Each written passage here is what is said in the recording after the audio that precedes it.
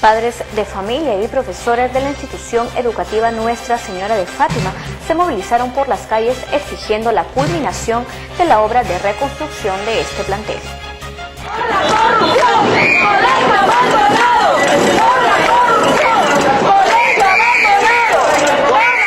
Se cansaron de esperar el reinicio de los trabajos y salieron a las calles para manifestar su indignación por las condiciones en las que vienen estudiando sus menores hijas. De esta manera, padres de familia y docentes de la institución educativa Nuestra Señora de Fátima se movilizaron por las principales calles para hacer sentir su reclamo a las autoridades piuranas por la falta de apoyo que vienen recibiendo ante el abandono de la millonaria obra.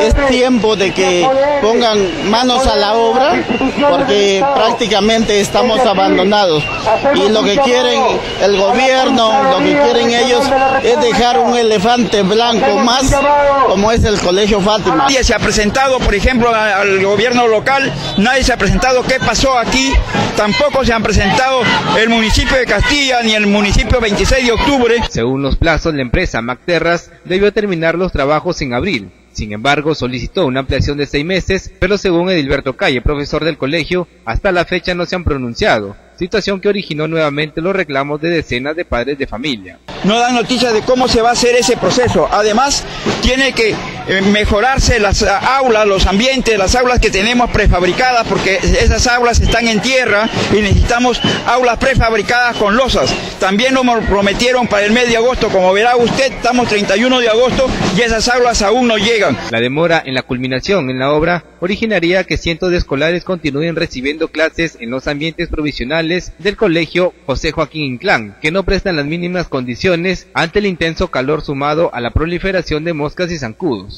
Sí, están en pésimas condiciones. Esperamos que el gobierno regional, las autoridades hagan algo por nuestras hijas, ya que ellas están en pésimas condiciones, por lo que no tienen piso, están mal. Es una situación muy, muy este, pésima, porque de un colegio que no, realmente no, no cuenta con como debe ser, eh, concluya ese colegio ya que es un año ya que se va a ir por dos años ya ese colegio que no se culmina. La obra de reconstrucción del Colegio Nuestra Señora de Fátima está a cargo del Programa Nacional de Infraestructura Educativa PRONIEC del Ministerio de Educación, con una inversión de más de 22 millones de soles y fue declarada de interés social por el gobierno regional.